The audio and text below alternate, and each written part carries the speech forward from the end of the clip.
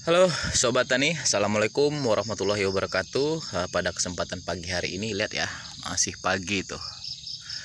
Pohon-pohon kelapa. Itu pare saya sudah rimbun. Nah ini saya ini karena semalam eh, sudah turun curah hujan yang lumayan lebat Jadi tanah juga sudah basah ya. Saya akan melakukan penanaman cabai rawit kembali dengan kapasitas lumayan banyak di sini. Semayan di sini, di sana juga ada Nah ini sistem semainya sangat bagus teman-teman. Dibuatkan gulutan-gulutan mini seperti ini. Lalu kita sebar benih cabenya. Jadi dia lebih eh, mudah atau lebih efektif ya maksimal. Eh, Bibit bisa rimbun.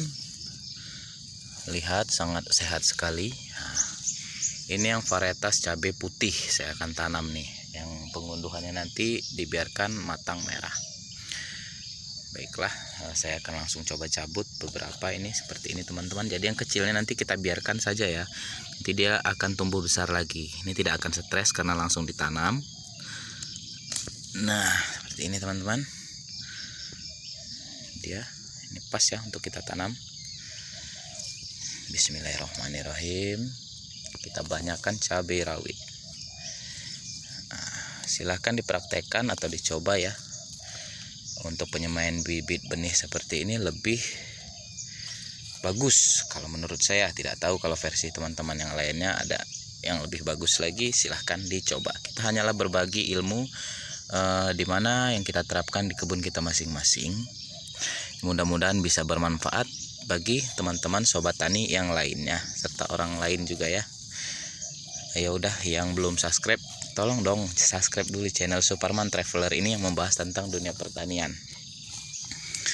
Seperti ini teman-teman. Nah, saya akan lanjut. Akan tanamkan selipkan di bawah pohon pisang serta di tanaman ada palawija itu ada kacang panjang nanti pare di mana nanti saat tiga bulan sudah tidak produktif lagi berbuah tanaman palawijonya si cabai rawitnya masuki umur tiga bulan dia sudah mulai mengeluarkan bakal bunga seperti yang di bawah-bawah pare itu. Itu sudah berbuah sekarang.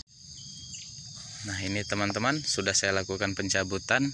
Nah, segini dulu ya. Ini uh, ada sekitar 100 batang saya akan cabut 100 dulu akan saya tanamkan duluan agar kenapa? Agar dia tidak layu tidak stres nantinya. Nah penanamannya langsung di lahan dekat jadi kita langsung cabut tidak dipindah ke media polybag dulu. Bisa dilihat hasilnya yang kita akan tanam duluan saya pilih yang sudah e, tingginya sama rata. Akan yang lainnya juga masih sangat banyak sekali. Belum lagi yang di sebelah penyemaian di sana yang cabai rawit asli gunung juga masih sangat banyak. Bisa dilihat ya sangat subur-subur sekali ini kurang lebih ini sekitar 800 batang ini semuanya ini kalau udah siap ditanamkan semua. Kalau yang di sebelah sana ada sekitar 2000 batang lagi. Oke saya akan lanjutkan penanaman dulu Setelah sobat tani saya akan melakukan penanaman dulu. Jangan bosan-bosan untuk terus pantengi uh, channel Superman Traveler. Aktifkan loncengnya agar tidak ketinggalan notifikasi terbaru dari video yang saya upload. Akhir kalam wassalamualaikum warahmatullahi wabarakatuh